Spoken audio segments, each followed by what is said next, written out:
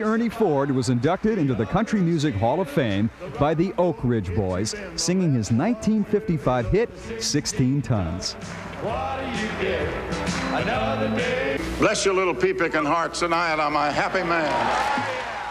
This was the 24th Annual Country Music Association show at the Grand Ole Opry in Nashville. Being the littlest kind of made me stick out, so it was kind of kind of hard going places and stuff like that. But that's the price you got to pay for fame. Adam Rich, the actor who played the youngest kid in Eight Is oh, Enough, yeah. is under arrest for alleged drunken driving. West Hollywood police stopped Rich's car after he made an illegal U-turn and drove erratically. A breathalyzer test registered over twice the legal limit. Just two years ago, Rich battled a cocaine habit. He turns 22 on Friday. This man has been going flitter flitter all over Southern California. Objection. Overruled. I want to hear this. Isn't Sources in Hollywood say Susan Dey may leave? LA Law when her contract runs out this year.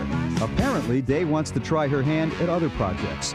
She has two movies currently in the works. And that's the PM Magazine Entertainment Report for tonight. All right, before we go, Steve has a, what is it, a bar The trick. bar trick. Bob, put your hands down flat. You can try this with your friends, folks. There you go. Okay, you're on your own. Say goodnight, Bob. I hate bar tricks, don't you? Thanks for joining us. Here's what's on tomorrow night on PM Magazine. Get over here. I never wanted to do anything other than be in the, in the broadcasting business. Hollywood's oldest teenager takes on a new challenge. Plus, satirical children's songs get this 15 year veteran banned. And a new show takes you on the scene with emergency response teams.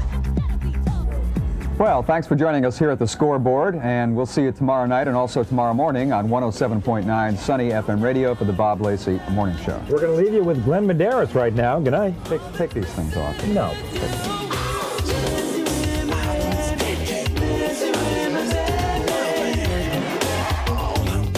Tomorrow on Top of the Day, how can you get the most out of your satellite receiver? Lynn Bradley Love on Teen Theater.